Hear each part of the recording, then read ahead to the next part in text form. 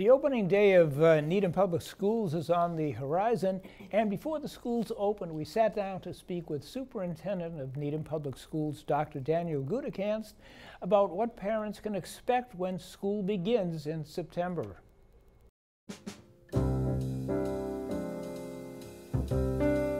It has been a very busy spring and summer with hiring. Fortunately, because the community was so incredibly supportive in passing an override, we were able to hire approximately 25 new positions to supplement what's going on in our classrooms and to help, in some cases, bring class size down. Through the, the, the generous support of the, the citizens of Needham, the, the incredible leadership of the school committee in, in, in collaboration with the finance committee, selectmen, uh, town meeting, uh, we are able to now extend our school day and provide additional learning opportunities for our students in grades K through 8. Uh, specifically, in grades K through 5, we will be adding additional programming. Spanish will begin in grade 1. Uh, we are starting some uh, really innovative science, technology, engineering, arts, mathematics, also called STEAM program in grades uh, 1 through 3. We will be adding um, and reorganizing our uh, library program, our arts program and music programs, expanding wellness in grades K through 5. So all told, our students in the elementary level will have more time on learning, about 25 minutes, and some new and exciting programming that we really believe is, is going to propel them into the middle school um, and beyond.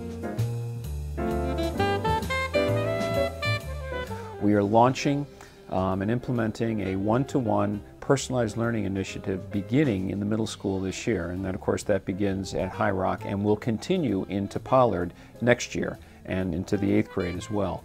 Um, what, the, what, the, what the school committee realized and what our educators and teachers have been thinking a lot about is that the middle school seems to be a wonderful entry point for students to think about how we can personalize their learning, how we can help them be organized for success, and also how we can really think about using technology and technology tools to provide for mobile learning experiences, hands-on learning experiences, and, and use uh, the iPad in this case with the, the apps that are available to really enrich literacy and math instruction, science instruction, organization for our students and making sure that they are beginning their middle school experience, which is very, very different from the elementary experience, um, in, in a way that will really support their learning.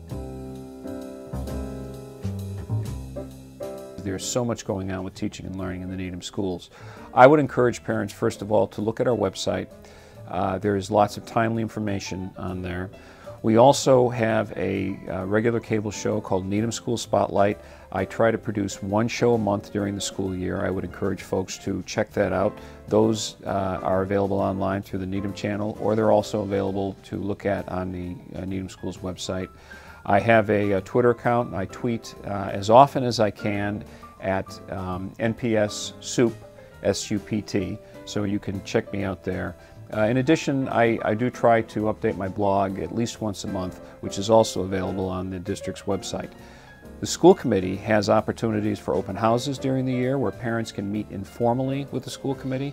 The school committee is also very much um, uh, committed to uh, having the public come to their meetings twice a month throughout the school year to engage them in conversation. So I, I think there, there are a lot of ways folks can uh, stay in touch with us. And very soon, within the next week or so, uh, we will be uh, distributing the uh, next edition of the 2014 Needham Schools Performance Report. So we're very pleased about that and, and look forward to folks getting that in September and October.